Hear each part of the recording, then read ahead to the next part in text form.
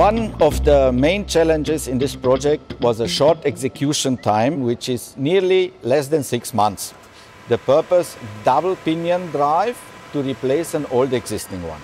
We are now here in the motor factory Dynamowerk Berlin. The 12 motors are designed for a copper mine situated in north of Chile. This is the last motor which is now loaded on the track and will be transported to the airport of Leipzig from where tomorrow night the airplane started directly to Iquique Airport, Chile.